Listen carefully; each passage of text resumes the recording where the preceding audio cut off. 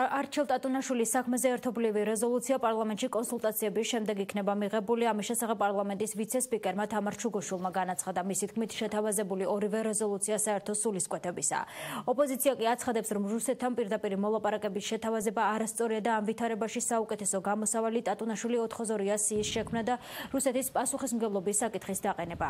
ევროპული საქართველოს იმედოვნებს, რომ აღნიშნულ რეზოლუციას პარლამენტი ერთობლივად მიიღებს.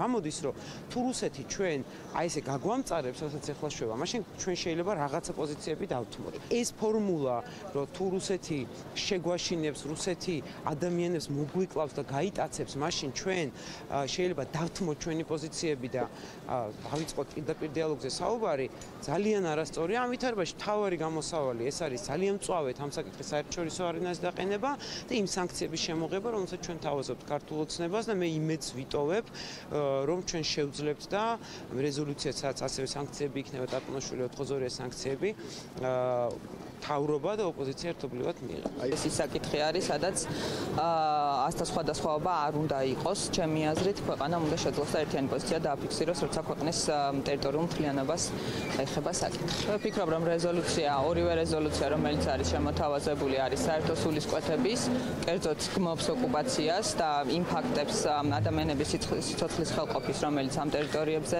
განხორციელდა, ანუ შესაბამისად, ჩემთვის პრინციპულად სხვაობა ამ დოკუმენტ შორის არ არის.